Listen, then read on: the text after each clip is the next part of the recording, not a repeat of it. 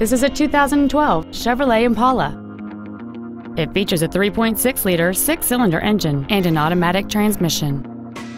Features include a low tire pressure indicator, traction control and stability control systems, cruise control, an illuminated passenger side vanity mirror, side curtain airbags, latch-ready child seat anchors, air conditioning with automatic climate control, an anti-lock braking system, a keyless entry system, and this vehicle has fewer than 39,000 miles on the odometer.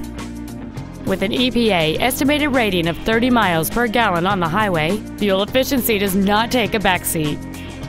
Stop by today and test drive this automobile for yourself.